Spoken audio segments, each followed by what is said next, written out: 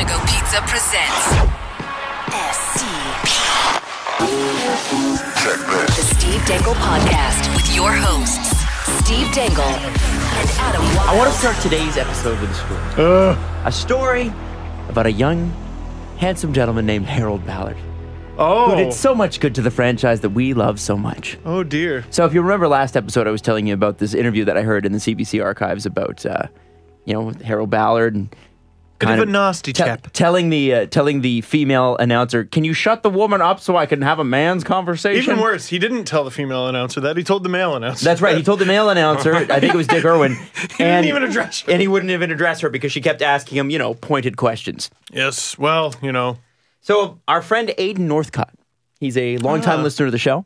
brother Said- of Sage from the UFC. Definitely. Yes, for sure. Uh, he said, Hey, Adam, I'm listening to the latest podcast and I love the part about Harold Ballard. I took a class in university called The Economics of Sports. And for my final paper, I wrote about how Harold Ballard was the worst sports owner ever. This would be an interesting list to compare.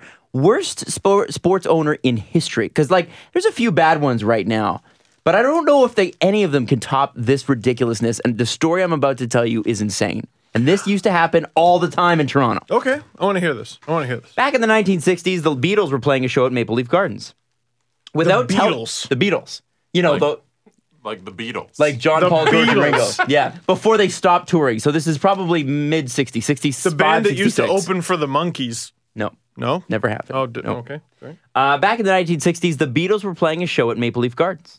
Without telling the band, Ballard sold tickets for a second concert at the Gardens. How do you even the Beatles, being good guys, obliged and they played the second just show. play the show? So that's one part. part two is my favorite. was the second show on the same night? No, no, Or it was was it the a next different night. night? I think it was the next night. No, I don't even know if they'd. This is my favorite. This is my favorite though. though. Second part is my favorite. That summer, Toronto is was in the middle of a wicked heat wave. So you can imagine Maple Leaf Gardens probably semi air conditioned, but not really. Um, Ballard, trying to squeeze fans dry, quite literally, disconnected all the water to the fountains in the arena, and then tripled the f- price of fountain pop, which were the only drinks being served. Oh my god. Now, if you're a Cowboys fan and you think Jerry Jones was an a hole, or you think Dan Snyder's an a hole, which he is, or wh- which there were a couple I NFL mean, Dan teams that Dan- got caught. I think Dan Snyder. I think Dan Snyder still wins this this one.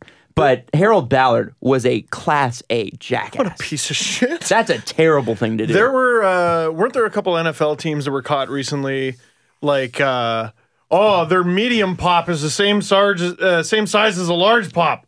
no way. Yeah, And so they were charging dastardly deeds. But he shut off the what a prick. Oh my goodness! So that's how things used to be. If you were a Toronto Maple Leafs fan, Shout out Jeff Merrick. He buried him.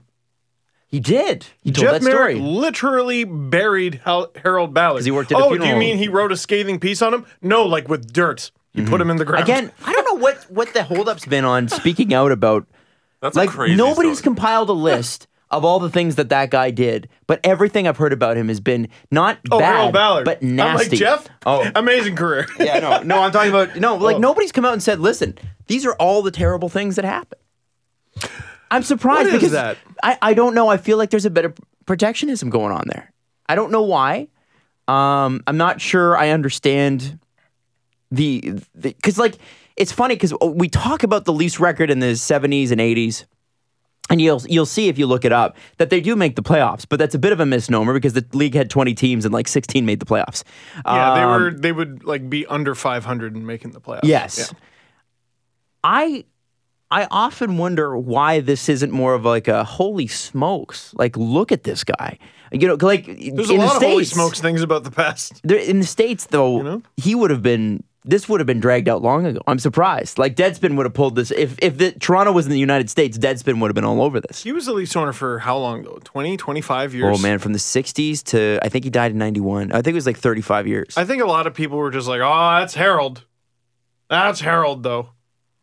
I, I don't know. And the other thing I found um, is I've had a difficult time finding like confirmed written um, stories of all the legends of Harold Ballard. Me too. Like I, I've told stories. Nobody on this wants to podcast talk. where I've been like, let me just look that up to make sure, and I couldn't find it. I but I know the story. How did I get the story? I didn't make it up. It's I don't know. And again, I can't confirm that's true. I mean, uh, Aiden Aiden says it's true. I again, there isn't, as you said, there's no like database for that. Aiden obviously did his research, but holy smokes! Well, in that interview I've brought up, I saw it with my own two eyes, where he was talking about. They talked about the performance of like some Czech Leafs player, and he goes, "Well, he's a dumb check." I saw it with my own two not, uh, two eyes, but I can't find it anywhere. I can't find it. They're better now. Better now. Do you want some good owning franchise stories? Sure. Are there any? There's one Of Harold that's Ballard? going on right now. Oh. Um, the Atlanta Falcons. They built a brand new stadium this year. Ah, Mercedes Benz. Mercedes Benz Stadium. Mercedes Benz. Yes. Oh. And their food prices are the lowest food prices ever in major sports. I think you're joking. I am not. Really? Do you want to hear some of these prices? Yes. Yes. Okay. A classic hot dog. How much do you think it costs? Five dollars.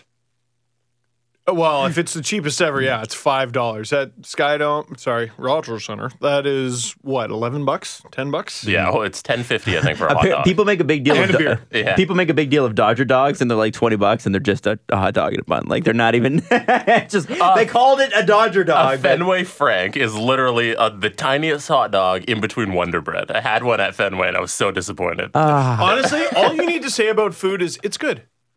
Oh, it's good. Yeah. If anyone ever tells you it's the best thing ever and then you get it, it's never, never once the best thing. e- That's why Steve won't watch Game of Thrones, even though it is quite literally the best.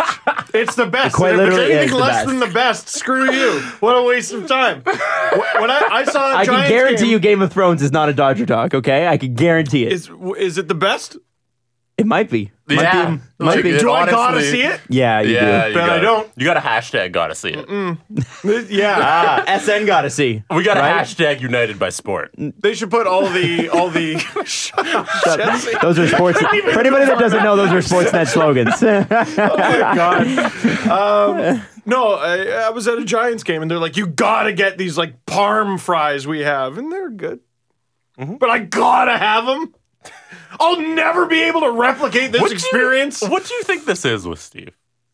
I'm- that so- I'm difficult. Somebody tells him something's really good. Yeah. And then he has it and he can't like it. I've thought about that. Yeah, because this is a this thing. is? This is a pattern. yeah. I'm a Leafs fan. I'm afraid of getting hurt. No, I, I think I think That's it's it. I think it runs a little deeper than that. Yeah. Hmm. I Let's think- analyze me. I think- Let's do that. Why are we talking about hockey? eventually, let's We'll get get- back we'll to get these back to the prices. Falcons. yeah, okay. I think the issue here is that Steve, Steve went. Steve grew up in a time in Toronto where people were a bit snobby, and and at Ryerson University, I found I found this kids I went to school with at least. If anybody liked anything, that thing like anybody older than them liked anything, instantly that thing was uncool. Mm. Oh, we can't like that. I had a really hard time clicking with a lot of people at Ryerson. I did too. Really hard. like I I remember just- a guy who actively downloaded elevator music. That was one of the guys I went to school with.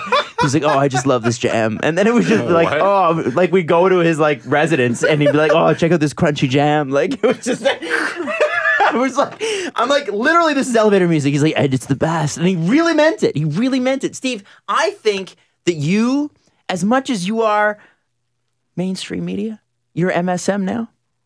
I- I think there's yeah. a, there's a counterculture element to you that's kind of like, yeah, you know what, establishment? I don't care. I don't care what you like. I'm- I don't I'm care punk what rock. sixty. Yeah, Well, Yeah. And I know that sounds ridiculous, but I think that you're you're a guy like you're the you are a little difficult. You're the no. No. And what's funny about Have it, a nice day. We'll see you. even if even if we know you would like it, you still won't test it. You still won't even. try. You've just made up your mind. Nope, wall is up. I don't being. I don't like being told to do things. I like discovering it on my yeah, own. I think that's it. That's what I mean, though. It's like what's it, it- that's what makes it counterculture, right? You right? gotta It's- have these parm fries. You're not the boss of me. right. That's what we I'm have saying. to like leave Game of Thrones on a counter somewhere, and he has to be like, "Oh, what is this? I'll check it out," Yeah. and then he has to discover it on his own. You know Yeah. who? You know the key is is Mrs. Dangle. Mm. We talked to Mrs. Dangle. We get her into it, and I think she'd get into it. Mm-hmm. She, She is really good at making things sound appealing, though. She has a doctorate in She'd ha- convincing me. She'd of have to be with you. Oh yeah. She'd have to be like she'd probably Else you'd never do anything ever. just watch hockey and play NHL and hang out in the basement. Well, and keep in mind though, it's not like like she's the nicest cup of tea either. She's not just Scottish, but from Scotland.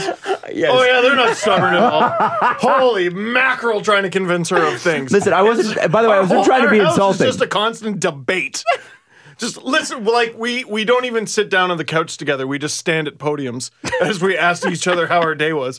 By the way, I um, wasn't trying to be insulting. I think that there is a there's a there's a guy. You're not the boss of me. There's a you're not the boss of me in Steve Dangle. Yeah, you're not the boss of me. Yeah. Don't tell me what to think. Don't don't tell me something's good. I'll make that decision for myself when I never watch the thing that you say is good. Yeah. What I'll show you by never viewing an episode, Cersei or whatever her name is. Well, Cersei about that. right? Who- Is Cersei the? She's the mean one. She's the mean one. Oh yeah, Cersei Lannister. She's the one who sneers she's at everyone. the actress who was the queen of Sparta in 300, right? yes. Okay. She's awesome. Forget her name. Like she's one of the best characters ever. Lena Headley, I think. Uh, Hadley? yes. I don't know how to pronounce it. Yeah, I believe you. Lena Headey. I have faith. Yeah. She's awesome. How expensive are the hot dogs? Hot dogs at Mercedes-Benz Stadium are two dollars. Wow. Lowest price in the sports. Waffle fries. What are they made of? Whatever Steve, hot never dogs. ask what hot dogs are made of, man. Waffle fries, three dollars. More expensive than the hot dog. Concerning. A slice of pizza, three dollars. Nachos, three dollars. A classic cheeseburger, five dollars. Okay, come on. How We're not trying to break the bank here. How much do you think a, s- a regular Coca-Cola with unlimited refills costs? Oh, it's got to be like I, it has to be a, a couple dollars. I'm gonna say a dollar ninety nine. Two dollars. Hey, And uh, to round it out, a Bud Light, a 12 ounce Bud Light, is five dollars. yeah, that's pretty good. That's like Wow. a that's like pub price. It's that's cheaper That's than better pub than pub- price. That's Yeah. Oshawa pub price. Listen, not- don't that's speak tartan. ill of the tartan. don't speak ill of the tartan. if we go to the Brazen Head near Jesse's, it's it's Oh, uh, God. a little bit more expensive there. May or may not be some price gouging going on there, especially during the TFC stuff. Oh my god, great bar though. Hey, here's a bag of fries for twenty two fifty. a bag of fries. That's what they'll get. They give you a bag. 20. It's not. to get a basket and a nice plate of fries is like fifty four dollars. This is what I'm talking about. We'll we'll see about that. we'll, we'll see about that. Listen, I don't. I don't. I like that about you. I think that's part of what's made you successful. Steve Dangle, you'll never make it. Oh, we'll see about that. CBC. Yeah, you got to wear. You, at some point, you got to wear a tie. Uh, I don't know about that. Yeah, you might have to have a boss one day. Nah, maybe. Ah, not a fan. No. Not a fan. I think you very much have a boss right Oh. I certainly do. I certainly do. A couple housekeeping things before we get to the uh, the Leafs last night. First things first, I want to say hashtag Road to the Cup Panago Pizza. We actually made the order for the uh, the Road to the Cup special, so it's it was wings, two pizzas, and cheesy bread. And as much as I've Bunch always of dips. a couple bunch of dips. That's right. We did that this weekend when we were uh, we were watching the, the Habs game and shouting out Philo Lorette uh, on. Uh, uh, on on video, which was a Poor cool guy. He Yeah, just picked the worst game to do that. he could have picked literally 15 games before that where he would have won. Yeah, consecutive. yes. yeah. Um. So anyway, uh, it's delicious, and we highly recommend you try it. What was the second, Jesse? You got a Hawaiian, And and then what was the other pizza you got? like ground beef Mediterranean was- or something. I think it's the. Is it the classic Panago? I'll look it up. I don't know, it was really can- good. It had, like- can actually show. Oh, It was so good. was- That was It unreal. like ground beef Really and stuff good on. pizza. Anyway, it was like it starts at 43 bucks. You can upgrade from there, but it's perfect for you know hanging out with people. What it costs us each 15 bucks? It's nothing. So yeah. anyway, um, also. Typing in my email, I can't have anywhere near the camera. That's not suspicious. Oh, fair enough. Okay. Uh, also, winners of the Babsock's Movember contest. Uh, Phil Westlake won at Reed Shell, uh, at underscore Nicholas, at Spence Holloway, at Chad Dorger, at Amon Macro, at Wonderlust Megan, at Clive Stillman, at Nero XLIV. I guess he was a Roman emperor once. Uh, at V underscore LaMonica, at I Breed by Spores, at Jumpin' Ja- Jumpin' Zach Flash, at Dilsey, at Philip Hockey underscore, at Dogfather85, at Jake and Bear, at Taylor C, uh, at underscore Nicholas, at underscore Nathan underscore Novak, and at Snep Stash. Anyway, all you guys. Oh, it's Snipstash. That's that account that's Harold Snip's mustache. Oh, Yeah. Snep Stash. Well, Every time go. I see them in my mentions, I just kind of go, heh. You all hooked yourself up with beautiful uh, Mike Babsock's, or sorry, Babsock's uh, Movember campaign, which we uh, which we we didn't we took a little picture of in a uh, in a shoot last night. I gave Adam and Jesse their socks yesterday. yeah, we finally got. Is got that it. what you were about to say? No, it was the beef Mediterranean. That's what we got. It's delicious. pizza. Everyone should eat it. So anyway, And uh, Jesse got it on a guess. He's like, I don't know. Oh yeah, because I should eat another one. I was like, this one looks good. you were correct. it was Yeah. delicious. Yeah. Um, last night, the Leafs lose two to one in a shootout. Yep. So we get our first Bettman loss of the year, which Yes. I'm still not upset about because we still got a point. point, First pity point. which means points in Loss. Yeah. points in seven See, of the no, last eight games. You lose in overtime. The shootout is some shit. Oh no, we're not having this debate, are we? losses, people. I agree. I agree. But then you're waiting. Then you're making, in a way, you're making shootouts more important. No, not in a way. You're you're making shootouts more important, no, and you- I just think that's trash. I think it- the yeah, Adam, sorry, We shouldn't have this debate. No, let's not. Let's Okay, not go there. Let's not go there. I just It's been done. let's not have a theoretical debate about those stupid. Save percentage. Sorry. Um, so Leafs last night they lose. Now the first period was pretty bad, and they were lucky to go uh, to the dressing room. I think 0-0. However, let's throw this out there. At the end of the game, the Leafs had generated 44 shots on goal, and in terms of even strength shot attempts, 56 to 49. Yeah, so I, I don't know too much about their uh, uh, shot generation numbers this season, but uh, every time I look through the box score, whether the Leafs have been outshot or not, it's usually fairly tight. But um, the other team has always blocked way more shots than the Leafs. So I feel like they are shooting the puck more than the numbers let on sometimes. Yeah, for sure. So that's why I always look at shot attempts. I think it's a better, it's a better idea of kind of how it all went because you know you hit the post, it's not a shot, right? At all. So, at all. I think um, it counts as a miss. Yes, it does. So um, it seemed as though, from like looking, kind of doing a scan through the numbers this morning, the Panthers. I mean, the Leafs played a good game. Panthers just played a little bit better, and they ended up winning in the shootout. And Nick Bjugstad is probably one of the best shootout players ever. He was. Oh, He's like Barkov? unbel- or No, Bar- Barkov. You're, you're well, Barkov. to. Sorry, but Bjugstad scored that last goal against Yes, Freddie, and he's Barkov scored two. I think. he's got like a ridiculous record, doesn't he? Bjugstad. No, I think, think that I might think be you're thinking Barkov. Barkov. Is it Barkov? Yeah, Yeah, yeah, it's you're thinking the other Barkov. B star for the Panthers. Ah. Anyway, yeah, both of someone them- posted a compilation of Barkovs on Twitter after last night's goal, and it's unbelievable. It's it, both goals were amazing. Yeah. Um, so I mean, honestly, there's not. Roberto Luongo is still Roberto Luongo most of the time, and he's been like that all year. He's always been one of those goalies that revels in getting too many shots. Yeah, yeah. Ironically, Reimer's is backup. like, like you, the kiss of death uh, when playing James Reimer is getting more than forty shots on him. 'Cause, yeah, because then He's just I don't know what it is, but he just stops him. um, God, I miss. him.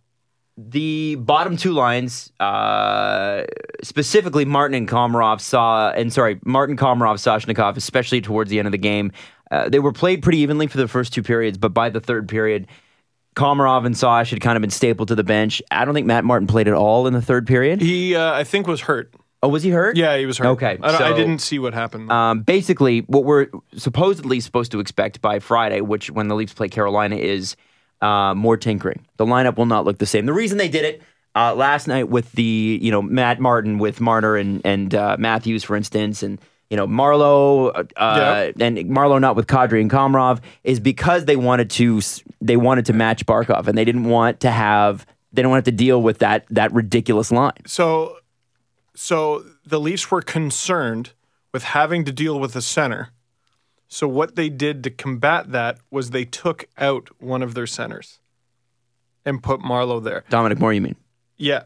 and boy- they put a better center. Well, but They he's sure not did. supposed to be like Babcock is so obviously thoroughly done with that whole Dominic Moore thing. Mm-hmm. Like I, I'm interested to see where that heads for the rest of the season. I wonder if they make a trade. I wonder if they make a trade for a fourth line center. or if they talk to Patty because I mean, you head into the playoffs with your best lineup, right? Like Well, do, maybe- would- do we do we think Mike Babcock right now, if the playoffs started, if he had to win a game tomorrow, had to win a game tomorrow, Mm-hmm. Patrick Marleau's at center. And Moore's Dominic not the Moore's lineup. not playing. Yeah, he's not. I think Patrick Marleau. I think they that that might be part of the plan now. But I still think that they're going to play Dominic Moore because of what I've said before. Which and Babcock has said this publicly, so I'm not guessing at this. He said, "Sports science. We don't want the guy doing this all year long. We don't want the 200 foot game on a 38 year old body all year long. They do want him fresher for the playoffs if they can, maybe that's why they're warming him up. putting Moore in and out though, because Moore's the same age, or like one year younger or something Yeah, but like that. who cares if you burn Moore to the ground? As long Yeah, as once yeah. we're at game 83 and the playoffs start, then you can sit in the press box and Marleau can play. Exactly. maybe that's it. I think that's the idea for that's it. sure. Absolutely.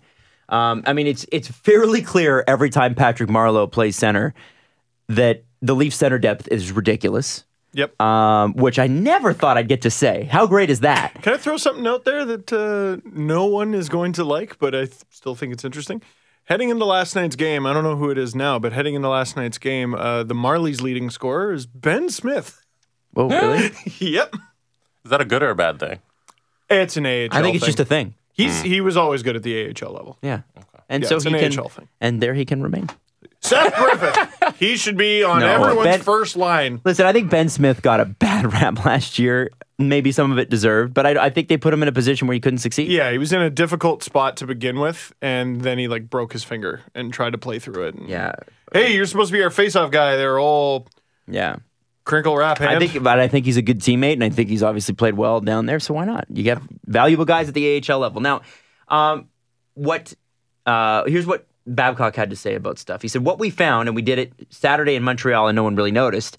What we did in Montreal is when they were jumping uh, one of our lines, we didn't let them jump it anymore, just because we had too many centers and they couldn't jump it. Meaning that they can't run your bench if you've got four solid centers." which he doesn't qualify Moore as one. Did Moore play Saturday? I missed that. I can't. He think. did. He did. Yeah, yeah. Yeah, it's been a few games. I Since he wonder was though if they made an adjustment. Do you know what I mean? That we missed in the third period that like Moore wasn't playing as much or was playing a wing or Well, in the third period is when we saw the the triple M line. right. That's when the Yeah. blender started to come out. Yeah. one of the triple M lines. Yeah. That's right. There's two. Yeah. Um. So yeah, I, I don't know. I think it's very interesting to watch, and it's kind of interesting to see you know Matthews and Marner together. They looked good. oh, Uh, they had 12 shots between them. I mean, yeah, and I mean that the game's over had Matthews not rung one off the crossbar. Right? It's over. Or had been hauled down. So yeah, I was going to ask about that. What did you guys think of that overtime? Matthews is sort of away on a breakaway. The guy doesn't make contact with the puck, and I forget who the defenseman or was it a Me forward? too, I forget. Um, there is a lot being made of the fact that he took Matthews out at the legs. Well, you see the play, you see the play happen, and it's your instinct as a Leaf fan to go, "Blah, blah, blah." and then the first thing, the first gif I saw of it was Flintor, um, who is a must follow account, F L I N T O R. And uh, in the s- close up slow mo, uh, the contact is first made with Matthews and his skate before the puck. The first time I watched it in real time, or I guess the second time, the replay, ah, I don't blame the ref, man. I don't either. I don't blame the ref for making that call. It looks We're not like a- making the call. yeah, sorry. It looks like a brilliant move in real time. Uh, that it's just a terrible break. That one is a bad break. I wonder about that one. If Matthews hangs on to possession in that play, let's say he gets knocked over and hangs on to possession, do they make a different call? And I Jess is throwing us the replay. I think like if he holds on to possession somehow, they make a different call. And well, that's if not he on holds him. on if he holds on to possession, then the puck was probably never touched, right? So, like, Mm-hmm. Yeah. of course. Yeah. Uh, I just here he comes, here he comes. Ah, God, it just looks like such a good move. It looks like such a good move. I don't blame him. it's a split second. Yeah. Yeah. I can't get upset about that. much. I can't.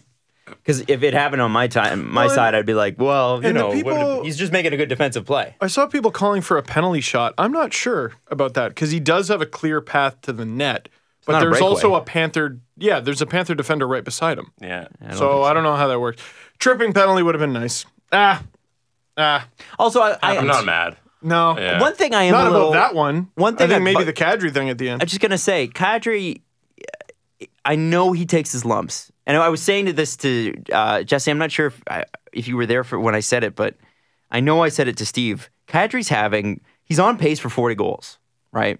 On a career high eight game point streak. And Just consistent. if Connor McDavid or Austin Matthews or Sidney Crosby's on an eight game point streak, that's a big deal. But Nazem Kadri's on an eight game point streak, not a big deal. He's like almost an afterthought on this team. Well, and I, I, I wonder if he's barely on any of the posts. I wonder if part of it is that people legitimately like they. I mean, outside of Toronto, they hate him, and that's Oh, good. yeah. and that's it's the Brad Marchand effect, right? You hate him, but you love him to play for you. And Of course. I wonder if some of it's that. And you know, last night I know he takes his lumps, but you got to suck that up, man. Yeah, You've boy. got to just suck it up and take it. We talked about this two games ago. Two games ago, this guy sees the red mist, and he came out on top in that one. He came out on top, but uh, I'd be curious to know who watched that play. And we saw at the beginning of last year, the word was out on Nazem Kadri. The guy couldn't buy a call. Um, gets nailed twice, gets up and retaliates, gets the only penalty.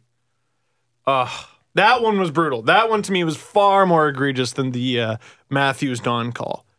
Uh, I just I don't know how you don't send them both. And even if it's a situation where you send them both, Kadri has to know better.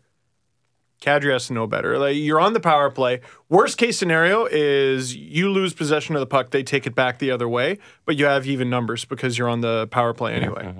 But it's stuff like that. You know, if he, it, I don't know what happened to this Kadri for Selke stuff that he wanted, that he wanted to make a push for.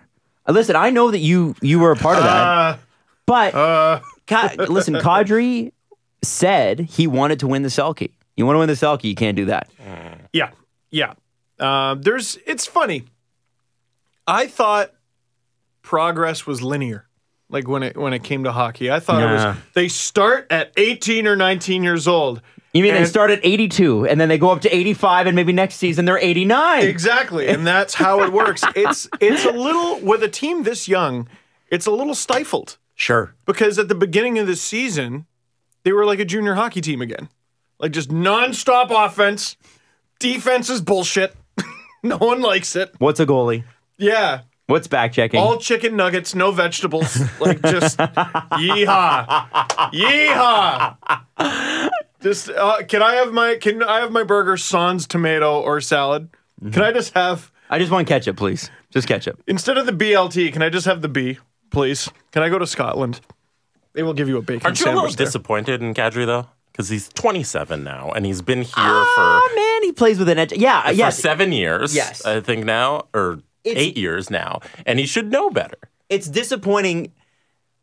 It's disappointing, but I also understand that he takes his lumps and you get frustrated sometimes. And maybe you're, I, who knows? Who knows what leads you to do that? He doesn't.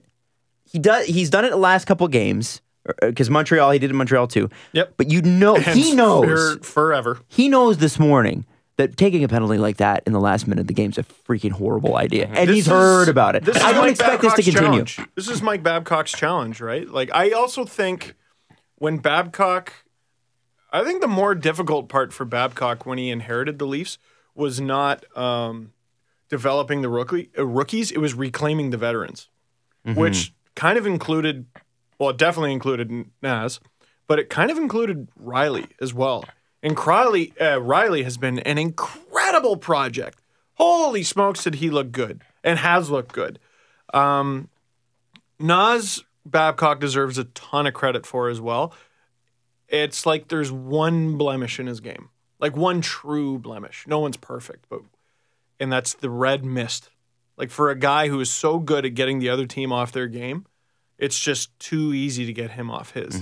And sometimes that takes, sometimes in life, it takes a, mis- a dumbass mistake like that to go, you know, I better, I better clean this up. And I bet you this is, is that's the pivot point. That's what I said at the end of this video is the Leafs have won a lot of games this season that they didn't deserve to and this is finally one that they lost that they probably should have won. And those ones bug you and I think are the ones that uh, facilitate change the most. So I, I I don't know. It was a good yucky dose of medicine for the team and maybe for Nas too. I get the sense that Jesse's a little disappointed. I am. Jesse, Dad. Yeah, like when What, what's what's at the root of this disappointment? um one thing mainstream, like the people not hardcore sports fans are making a big deal about today, is Kadri hitting the Oh, yes. the official in the box Oh. Yeah, by mistake. by mistake. But that was by mistake. I, Yeah. Radulov did the exact same thing in the KHL a few years ago. Yeah. Whacked the guy, and it wasn't even an off-ice official. It was one of his own coaches. oh god. Mm-hmm. And the people the people are hating on Naz, and I'm like, I'm disappointed that Kadri is still doing things that receive this much negative attention. I would have hoped he would have learned by now. So you're more you're disappointed in Naz, not the negative attention. Both, I guess. Because you know what it is for me is we've had to defend Nas for years, and it Mm-hmm. started with the Kadri versus Bozak stuff under the Carlyle regime.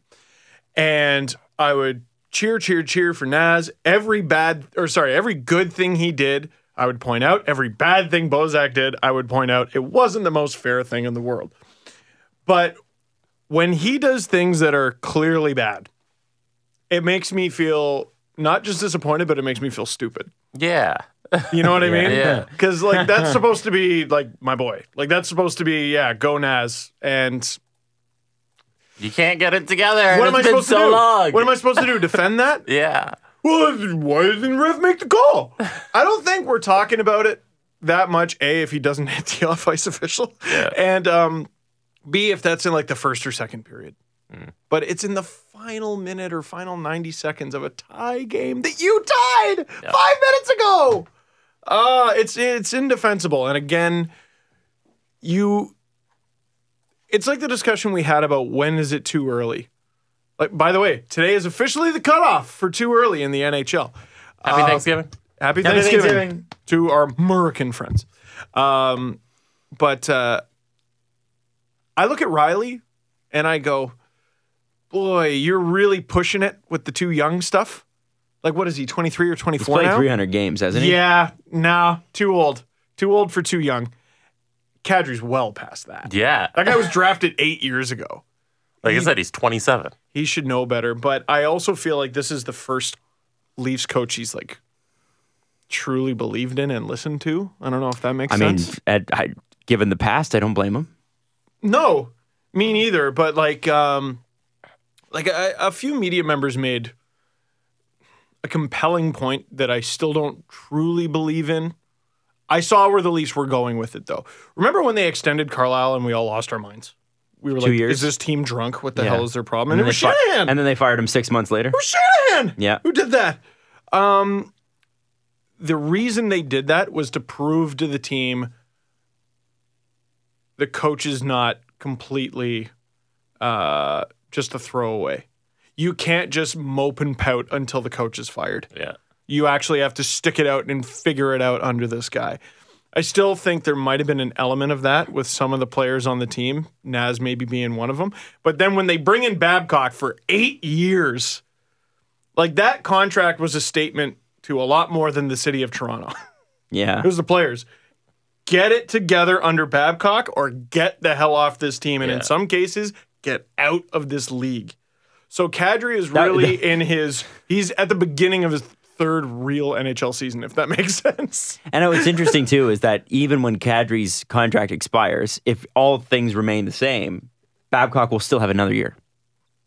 Yeah, he's going to outlast Wow. everybody on that team. Oh yeah, yeah. Like I think Matthews, Marner, Nylander might be the only guys still around. yeah. Nylander might be the first contract signed that goes beyond Babcock's. And who's to say that Babcock doesn't stay? Right? Mm-hmm. He's not an old man. I still love his press conference. Yeah, well, you know, I got eight years here, and then they're going to be so good, I'll stick around for two more, and then uh, we'll see. Yeah. well, I, th- like love it. it's it's Love a it. weird it's a weird NHL thing that head coaches have been so disposable and flicked around. But like I look at the Steelers, different sport, but they have had four coaches I think in history. Well, I, I, I don't think it's an NHL thing. I think it's across sports. You see those outliers like the Steelers and like Popovich and San Antonio. Yeah. And but the rest of sports is, hey, we need somebody to blame. Let's fire the coach. Right. Yeah. Right. And I think it takes strong management Mm-hmm. to ignore that. When you have a great coach like a Popovich, like how Mm-hmm. great he is, um, you know, how great Tomlin was, how great Coach Cowher was. Um, and and I think that Mike Babcock is the first great coach. And I with no disrespect to Pat Quinn, Pat Burns.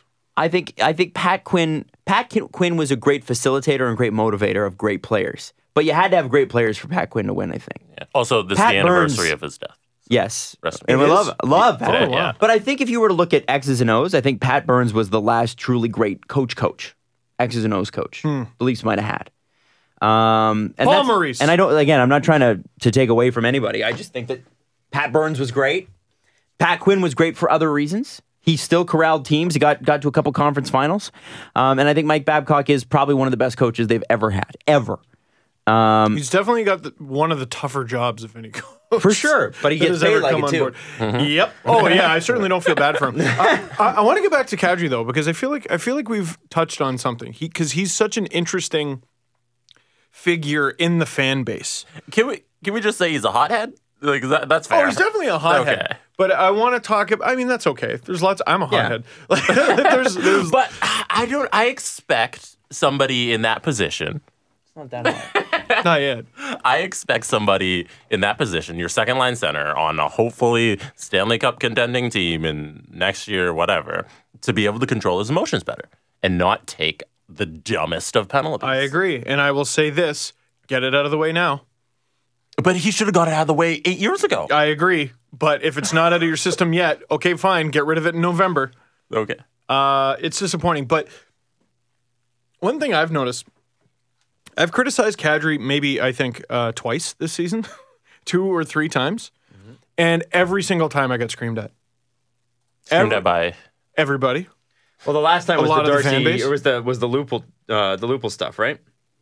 Oh, thank you. I forgot what it Yeah, was. that happened People this year. Hated that I pointed out a very obvious misstep that he made. Hated it, hmm. and it goes oh, back to oh, what no, I they was saying called though. they- I- we were called immature. Oh, How immature of us to point out that that was bad. And you know what? I don't care. I know it was bad. I don't need your opinion or, or approval on it. I know it was bad. One little No, piece. but you guys, this is sports. You should be talking about Instagram Yeah. You should be talking about. Instagram. yeah, okay. Well, ESPN spends every day talking about Ke- LeBron James and Kevin Durant's Instagram, and they're ESPN. I'm still a hothead, but one thing I've gotten better at in the last few years is ignoring obviously stupid rebuttals. yeah. Why? Why fight that? I'm like, okay.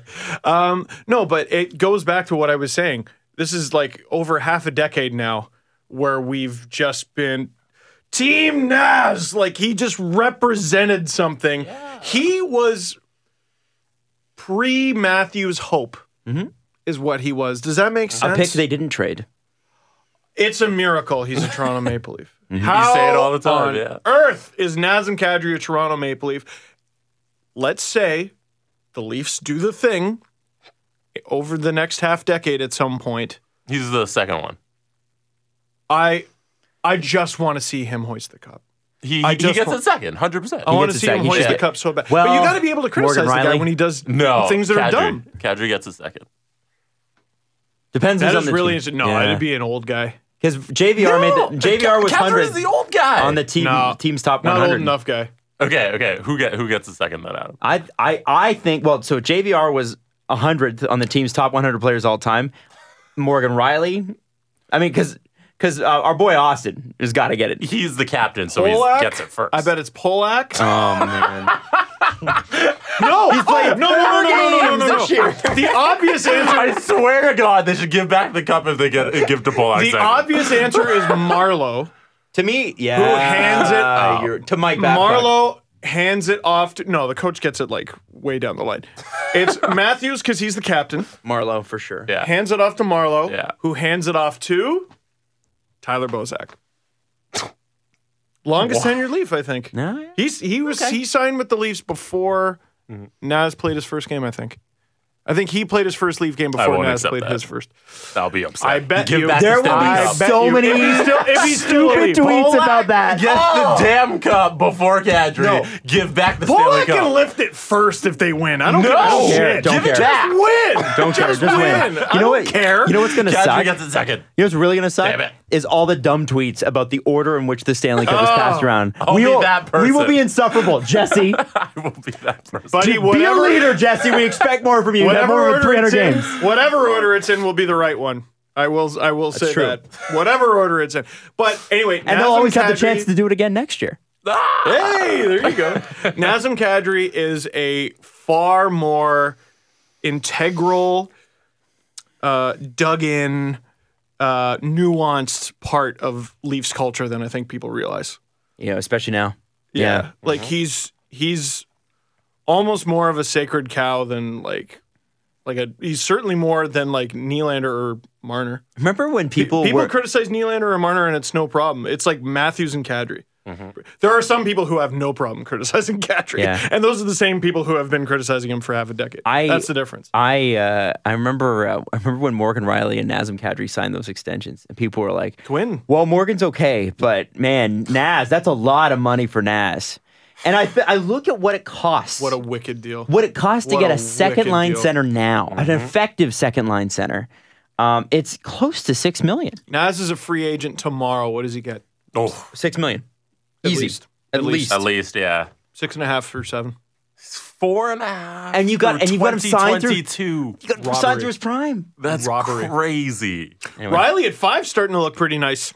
Oh God, dude. yes, I, yeah. He had it off year last year, and I still thought it was great. Still was okay, yeah. And five's looking pretty nice. He had what's called a growth year last year. Now, uh, on the next edition of Burke, actually, uh, no, I'm kidding. He didn't actually come back at us at something, but I do want to read something from the Athletic that that interviewed PK Subban before last night's game in Nashville, or at least they interviewed him and decided to run it before last ga- night's game with Nashville. Berkshire texted me last night. He goes, You know, Subban just basically pulled up Rogers, Rogers, Rogers on air. He did.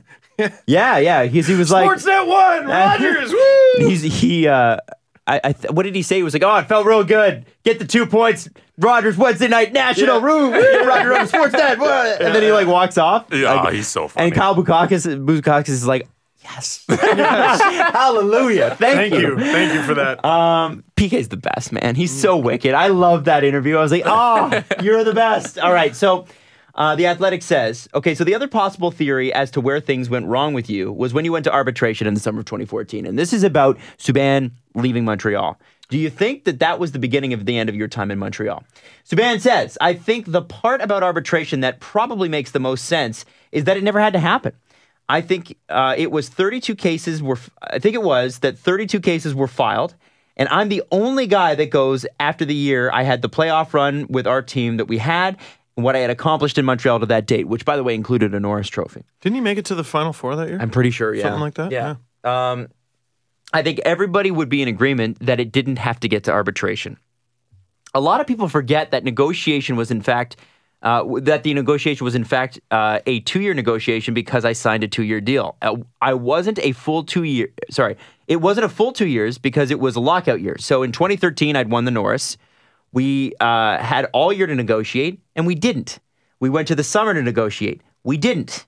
My final year, I don't know if we had much talks at all. There was nothing put across my table other than maybe something small in December, but nothing significant that I'd be looking at. The rest of the year, nothing happened, and the whole summer, not much happened. But enough about the Radulov con- uh, contract talks. Let's talk about Subban, Adam. I thought that's what you were getting to. But enough about the Markov contract talks, Adam. I, th- I thought you were going to read us the Subban contract talks. Do you see a pattern? What do they hate against? What do they? What do they love so much about Alec Martinek? Uh, or no, Oh, uh, Martinuk? Martinu, Martinu. Wait, are you thinking of uh, Martinson? Martinson. No. Oh, and he's gone now. Oh, is he gone? Didn't they sign him to a longer term deal or something No, like that? they, d- oh, There's maybe. somebody else. They traded Martin- him Martinson. to I don't remember who. It doesn't for matter. I don't remember what. Because it, well, all I know is they got rid of Sven Andrighetto, and he's been very good. What is the deal? These are your stars. Why do you not like your stars? Three strikes, you're out. Like those are th- three swing and misses. Well, except, yeah, at least you got Weber out of Subban. I, I guess. I guess. At what point do they realize that the problem isn't the players? Never. The problem is the management. Never. Never, not Never. until the management goes. Never. Well, they haven't realized yet. Hmm. They haven't realized Well, yet. Bergevin did just get an extension last year. I mean, I'm just saying. He signed till 2022. It's funny, like there are reasons to believe the Habs aren't as bad as they are. Price is going to get better, and this, that, and the other. But all their weaknesses are still all the weaknesses that were pointed out in the summer. They lost two key free agents. The Subban contract negotiation, it sounds like, went down exactly the way I've described it in the past. Um, I saw one. I think it was from Matt Kane, who was basically he laid out statistically after the Blues smacked the Oilers around eight to three. He laid out statistically. He's like, "Look, here's why the Oilers are probably not that bad," and he convinced me. I'm not. Yeah, I'm. I'm not. I wouldn't be surprised by that. I wouldn't be totally shocked by that, especially uh, when they get Sekera back. Even though he shouldn't be sinking their whole season, it's they were still an extremely good score adjusted uh, possession team. Cam Talbot's having like the worst season of his career. If he bounces back even a little bit, he should be okay. You know, this guy's shooting this percent, this guy's shooting that percent. Yeah, Okay, Cam okay, Talbot's fine. average. This is a different conversation. I, yeah, I haven't seen too many arguments similarly made for the Habs. It's just not a great team. Also, Matt Kane, former pitcher of the uh, San Francisco Giants. Thanks for that. Actually, Yep, retired uh, this year. He was very good. Thanks for that, Pierre. Yep. Went to went to St. Mary's for blah, blah, blah. is that true? Matt Kane was. I don't know if it's, it's definitely the same the Matt I assume Kane. it's not. It's, I assume it is. Yeah. But Matt Kane, former San Francisco Giants pitcher, is also reporting on the Canadiens. Let me look this up. I want to look this person up. I don't know why he has so, such insight into hockey, but uh, good for Matt Kane for getting People a like second different job. things. Yeah. Like, cool. Matt Kane's great. Yeah. Uh, did you see PK's sick dangle last night? Uh, I did not. It was just obnoxious. He Yeah. un, like, I, it's almost like he's like I don't. though I forget the player he deked out, but he put it backwards through his feet. Like he went through his feet backwards, like one of those. wha- Wrap it around yourself Yeah, and then yeah, put it yeah, up yeah. to yourself. Um, And it's like, man, this guy has a family to feed. Don't embarrass him. like, come on. It was so bad. It was so insane. And I think Kyle Turris put it home. It was an. He was great. Buddy. if we're going to talk about great plays from last night, John Tavares. Holy probably- shit! Ooh, yeah. Can the you bring up a greatest that? I want to look at that again. Yeah. I saw it once of this all morning. time. That is, and by the way, the guy who he just ruined the life of was Sean Couturier. Who? Sean Couturier. He's a pretty good player. He's, a- he's a player. Oh, he's a good player. Yeah, no, he uh, he is a good player, and John Tavares is a great player. That is the difference. You know what that reminded me of a little bit? I mean, mm-hmm. it was different in terms of the moves used. Yeah, here it is. Jesse's bringing it up right here. A solid cross check. Like, was that even called? Was that even called? Oh, it's mm-hmm. loading slowly. What this reminds me of is when Crosby dusted Spezza, when Spezza was still pretty damn good. It's like, okay, here's the difference between good and great right here. Sean Couturier is good. Mm-hmm. John Tavares is freaking great. And you want to talk about an assist being worth more than a goal there. Josh Bailey is like, and I helped. Yeah, Pushed just cross check into the boards. Doesn't give up on a play. Like Babcock should be showing all the Leafs this freaking play. That's the kind of thing. he, That does is he go effort. through his legs here? Yeah. Oh, Threw it that's like one handed. Oh, so ridiculous. gross. That's why I love hockey. so Oh, gross. Stuff like that. That was so great. Effort. One more I- time. That's the oh. difference between. I mean, you. The through his legs with one hand. Uh, uh, uh, you could you could even argue that Sean Couturier is great. Uh, but regardless of whatever Sean Couturier is, Tavares is better. And we we got to invent a new category. Nick Leddy standing there Legend. watching, just like uh, Icon. Should I do something? Yeah, Nick Leddy's just and the point. I uh, helped. Um, um, and I helped. No, uh, there was a play. It was on the Leafs' only goal last night, where I think it was Rielly sends a pass to Marleau, and it wasn't the greatest, and Marleau didn't receive it the greatest, and there was a Florida player right there, and then there was a loose puck right in front of Marleau. The Panther defender, I don't remember who it was, attacked because they see a winnable puck. Mm-hmm. Marleau could have just let him have it, but he made that little extra effort to poke it forward. And because he did that, the Panthers defender was caught flat footed. Connor Brown was flying the other way. Leafs have a two on one and they finish it off. Those little plays, that little shitty secondary assist Marleau got, I think is what separates good teams from great teams. What separates teams that get eliminated from championship teams. Well, Marleau doesn't have a cup, so blah. Oh, I heard he was a get it. choke artist, Steve. Yeah. Sorry. Here's the, here's the stat from San Matt Jose Kane fans will laugh at that one. in uh, slightly hieroglyphics. Gutless is what I've heard. Gutless. So heading, Thanks, Jeremy Roenick. This was uh, oh shut up, Jr. The Oilers are a top five team in adjusted Corsi for percentage. Uh, PPCF 60. I guess that's power play, Corsi for per 60. Grass. Penalty kill, Corsi against per 60. Cam Talbot's penalty kill save percentage is, I think it's more than 6% below his career average. I'm not really sure this is a bad team. So basically, Yeah, but like, they have a win good power play. They have a be- uh, sorry. They have a good power play. They have a good penalty kill. Uh, they're good at possession. Their goalie hasn't been very good. There are reasons to believe that they will turn it around. But, you're second last in the West. you're second last in the West, and also we've already reached too early day. Yeah. Maybe it's too late to turn around. Watch, they're gonna get hot in the final, like, the, and they're gonna have this comeback, and then all everybody's gonna talk about is the Oilers are gonna be rolling into the playoffs. I bet it's gonna happen. That's also a good thing. Oilers are an incredibly interesting story because it is mm, there's the odds are stacked against them in terms of a comeback, but it's doable. They have the talent. And there was a article written recently about the Jets. Maybe, uh, maybe Come back to Earth. uh, coming back to Earth. All I know is right now they're a third. Yeah. like Who wrote the article? How do you screw that up? Oh, I can't remember who. I can't remember who. And it You was know what- centered you know around Blake Wheeler, What which sucks outlet because he's. wrote in- the article? I don't remember. So there was an outlet, and you can't remember who wrote Buddy, it or where you read all it. I wanted to do was say that little thing. and you're like, what? What if people want to Google that? Deep into shit. this. the reason I didn't mention the specifics, Adam, is because I didn't know them. Oh, shoot. Okay. Go ahead and knock some more shit over. Hey, hey, I think golf claps for one Steve Dangle who made it onto Elliotte Friedman's 31 Thoughts. I felt very good about that. Tell that. us about what, uh, tell us about the Andrew Hammond thing that made it. Because we, thought it was Steve, Craig Anderson. no, Andrew Hammond. Oh, okay. No, Craig Anderson was Hammond's backup for a while. Hmm. Yes. No, uh, no, I had asked you on Saturday if it was Craig Anderson. oh, really? And what did I say? You said no, it was Andrew. Hammond. Oh, I was okay. just referencing our Saturday. Oh, I don't, it's good, I don't it's good that that. you guys are having an inside conversation here on well, this radio show whatever. for everybody. Anyway, Just trying to invite everybody else to the inside. ah, What, what else? I guess wanna- we're gonna keep a- up our walled gardens. What, what else do you want to talk about? I don't know. How's your How was your day? How was your morning? It wasn't bad. My coffee really took this morning. Yeah. Yeah, you know how sometimes it like fails you. What number coffee is this? This is only number two. Oh, okay. I'll probably keep it to that. But did the number one lead to a number two No, I think I got that out of the way first. Uh, before the coffee? no, coffee's you're right. usually- No, you're right. It was after. Yeah, yeah. The coffee did it. So anyway, Mm. uh, I don't remember what I was talking. Uh, Andrew Hammond. Adam's like, so tell us, you got into 31 Thoughts, one of the most prestigious things you can get into in all of hockey media. And Jesse and I are talking we about were it on the phone. 30 seconds later. We're on the phone talking about a business thing, and Steve's like, "Hey, I just got a text from Elliotte Friedman. I was like, yeah, can I can, I call you back? Can I call you back? I, you go handle that. Uh, I need you. To, I need to talk. I'm like, go. And then so it turned out to be this, which is so cool. Yeah, he uh, asked me if there was anything like noteworthy in the Hammond thing that I wrote, and I told him yeah.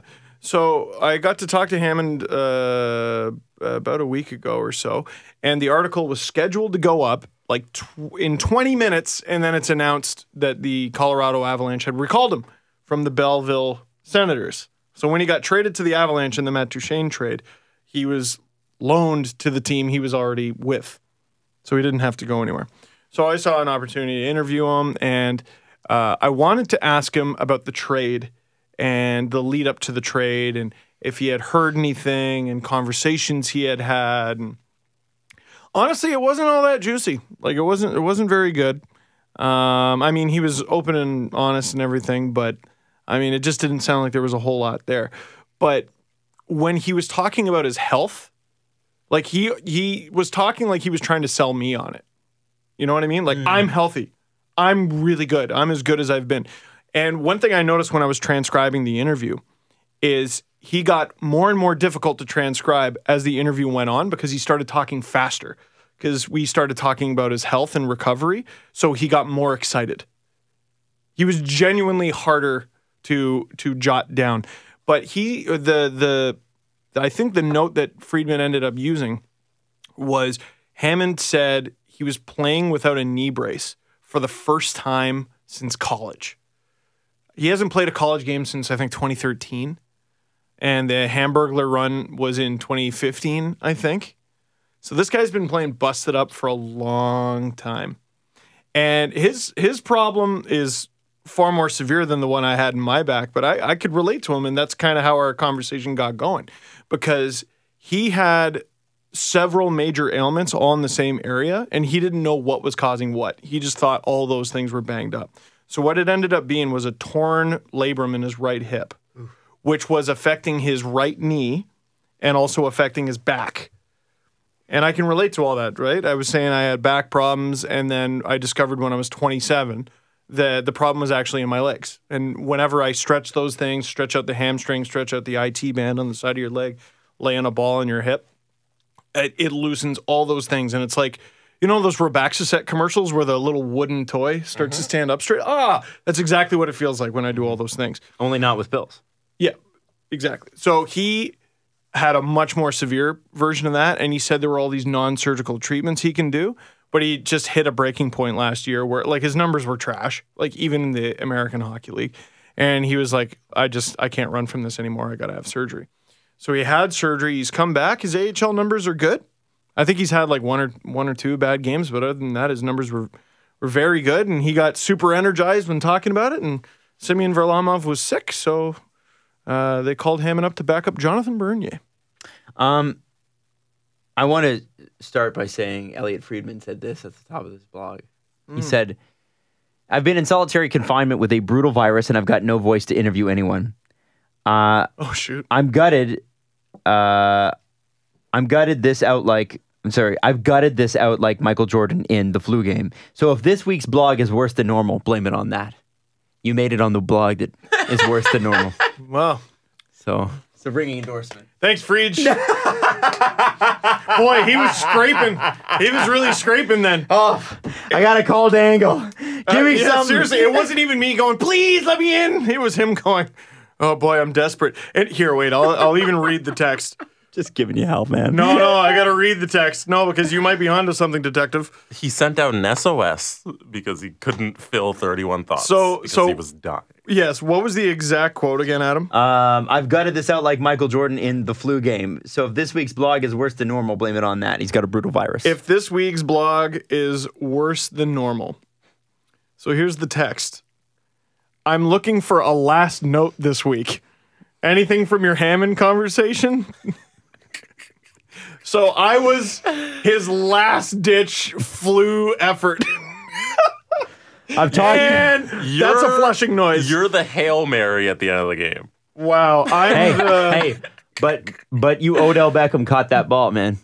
yeah. Right? You know what? You I one am? hand grab, pulled that in. I'm that episode of that 70s show where they figured out it was Kitty's birthday, like deep into the night of her birthday. And so they went to the gas station and got her like a funnel. Yeah.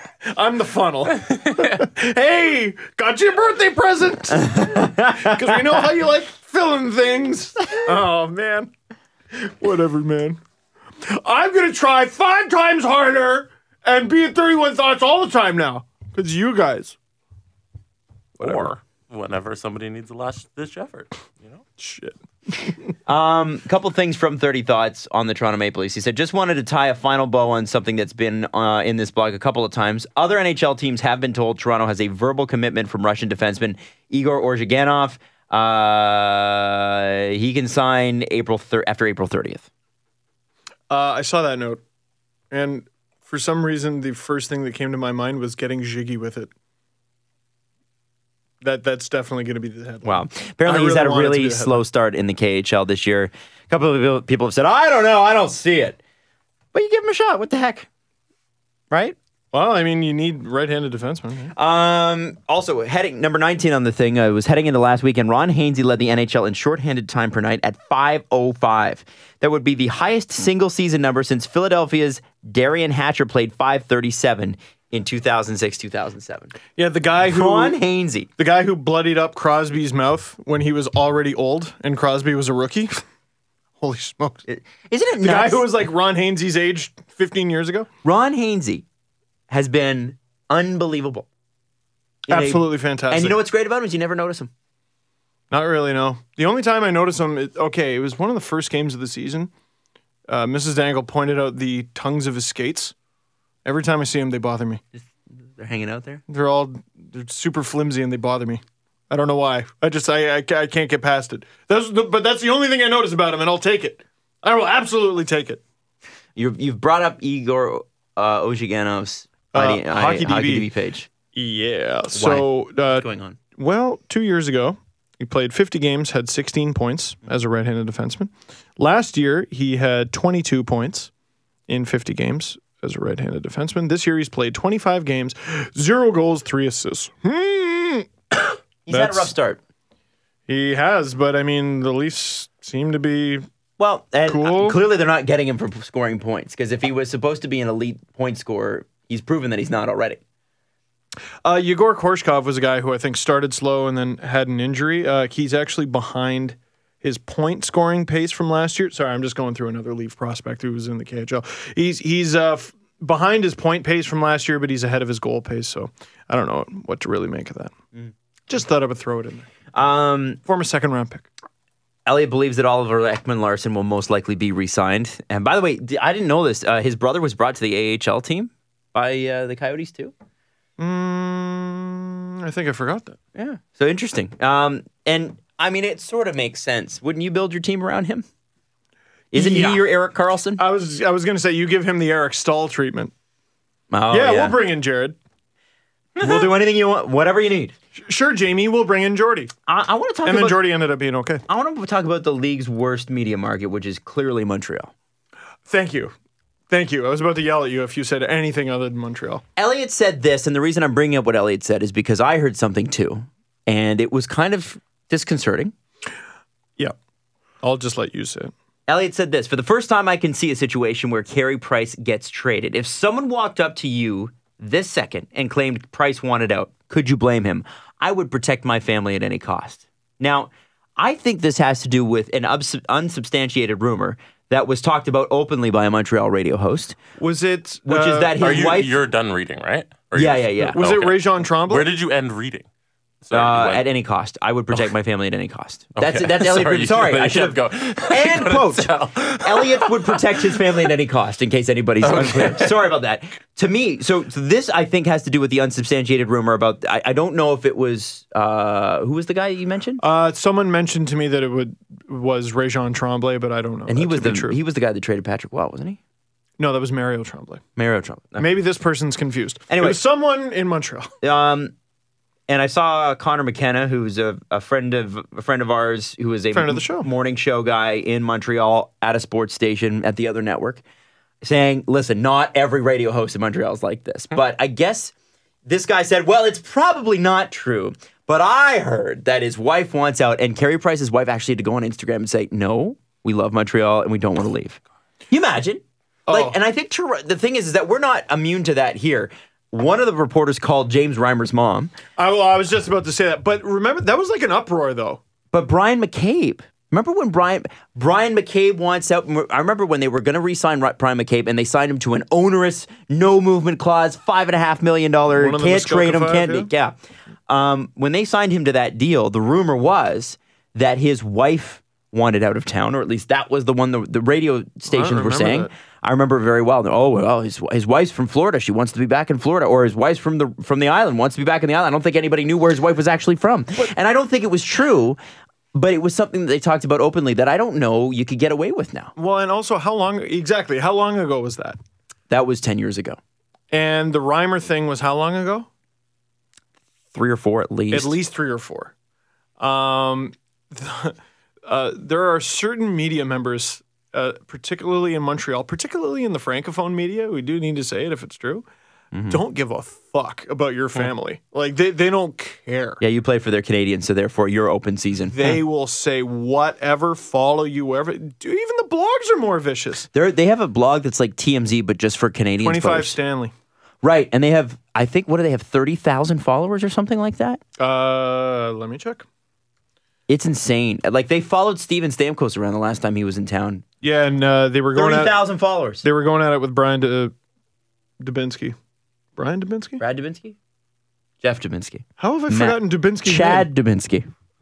John Smith. No, I know Dubinsky, Brandon Dubinsky. Brandon, Jesus. I was waiting for you to get it, but I, I had to. I, I just my brain was just like, no, I only had enough room for the, the last name. Wow. Yeah. So Hey, uh, Steve, yes. what's 48 divided by 3? Ooh, Oh, wait. I think it divides cleanly. Uh, 10, 33, 36, 39, 42, 45, 48, 16. When was Zach Hyman drafted? Ooh. Shit. Um fourth round. This is so absurd if you get by Florida. By Florida for sure. 20 ah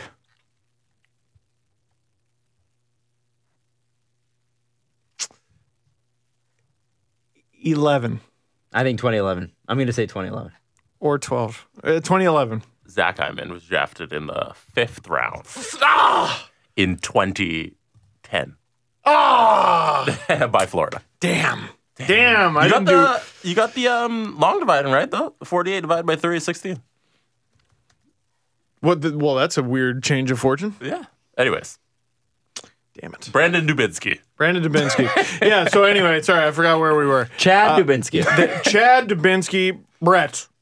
Uh, yeah, they don't they don't give a shit in Montreal, and and it's funny. People talk about not wanting to play in Toronto because of the media. of various No. reasons. No, No. the taxes are higher in Quebec, and the media is so so exponentially worse, so so much worse. You're you're you're not just a sports figure if you play for the Montreal Canadiens. You're something cultural. You're pop culture. yeah, for sure. Yeah. Which is not the case here. Not really. We're not like you could talk about. I feel like you could talk about the Montreal Canadiens and talk about the game last night on like a pop station mm-hmm. there. Yeah, like Music Plus or something like that, and you could totally, which is their pop, one of their pop stations. The stations. Leafs are still relegated to sports. Yeah, you're Toronto. more into like who they're dating, who they're married to. Yeah. this story They're- you they're heard. That superstars. story. Yeah, It's the same with their. It's the same with their radio hosts and their VJs. Like they still have like we much music and Music Plus in this country. Much music doesn't have VJs anymore. Music Plus, like you are a a you can't walk down the street. Like and their their radio DJs are enormously who popular. wants to deal with that? well, I mean, if you're in radio, you probably do. You're all right with it. but Well, yeah. yeah. but if you're if you're an athlete and you just want to play some hockey, and you're from like what? What is it? Anahim Lake, Alberta, Flin Flon, Manitoba. where- wherever Carey Price is from. Like you don't want to deal with that, and you don't want to be answering questions and keep my fucking wife's name out of your mouth. Like it's a good thing Carey Price is a cool-headed guy. Y- you know what I mean? Oh, I probably would have t- told him the guy. I probably would have said something bad. Get un- get under get under someone nuts's. Uh, just say something about someone who's nuts' his wife. Okay, Carey Price is 31. Now? I think so. I believe Ooh. so. Oh, that contract. 30, 30. 30, he'll be 31 in August then. Um, when the contract kicks in. Yeah, when the contract. So, if say you were to trade him off and restart the rebuild, it's not like if you tried to restart the rebuild right now, he would be in his prime when you'd be good enough, anyways. So, is the smart thing to do is get the world right now and trade Carey Price? Is it the world? yeah, he's he's Carey Price. He's number one goalie on any team. I mean, it's almost like Ten million trying. dollars, man. It's like trying to give someone the world's most impressive redwood. I- Like, Like the impressive. tree? Yeah. like, hey man, don't you want this? Well, yeah, but like, how the fuck? And How am I gonna fit it? How are we? How are we gonna transport it? No, am then you gonna- get somebody who knows about trees and you get them to handle it. that's very Like, expensive, though. How on earth? What does a Carey Price trade even look like? There was a house on the corner down the street, by the way, here that was a, uh, a classic home, like one of those heritage protected homes. And you could have it for a dollar. But the one caveat, and this is in downtown Toronto, you could have this house for a dollar, is that you had to pick up the house and move it. what?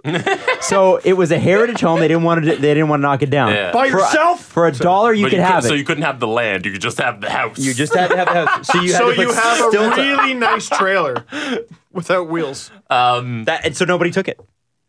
Wow. Heritage home. They did knock it down. this will make a great YouTube video right here. So cut this part, Jesse. What does a Carey Price trade look like? All right. Let's, this. Let's start with Who yeah. Who needs a goalie forever? forever? Who needs a who goalie needs a goalie forever? forever? Like, You know who I? You know who I think would? You know? looking at you know who would do it? who?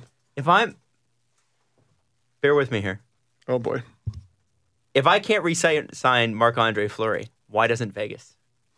and think about this for just a second. No. They've got they've now listen. I know it sounds crazy, but as long as you don't give up one of those, you don't give up those lottery protected picks. You've got a billion picks. If Montreal decides to rebuild, First of all, I'm Montreal. You bet your ass you're giving me one of those stupid picks, asshole. I'm giving what you if Carey Price. What if you could get one of their prospects? What if you could get a cluster of defensemen that included Nate Schmidt?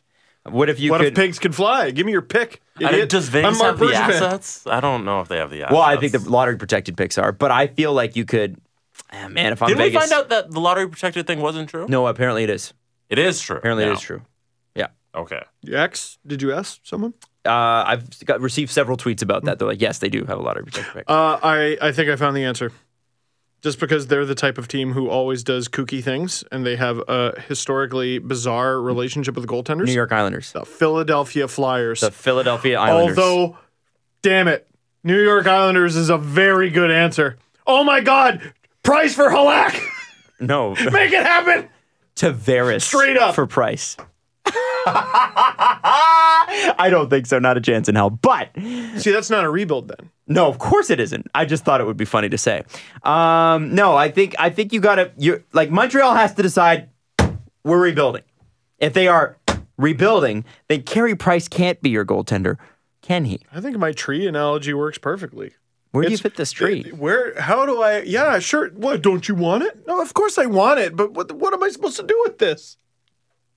What am I supposed to do? It's that Dane Cook joke where Oprah is just like, everyone gets a school, everyone gets a, a school district and a full faculty. like, what, what, what am I going to do with the school? it's true. Like, what? cool, but like, what do I do? yeah, what do I do with this? Uh, okay, think about okay. Let's say you're Philadelphia and you're crazy. Sabres. You're Philadelphia, you're crazy. Buffalo, I can see Buffalo. Let's say you're Philadelphia, you're crazy. You're Islanders, you're crazy. You're Buffalo, you're crazy. Let's say those are the three teams. What does the package look like? Okay. 'Cause what we- before I even get to that, and you guys are both going to scold me, and I'm willing to take this heat. How bad do I actually want Carey Price? The answer right now is not very much. Yeah, I mean, if they start, if they decide, I'm with you. I'm with you. I'm not going to scold you on that. But based on his past history, you would think he would rebound.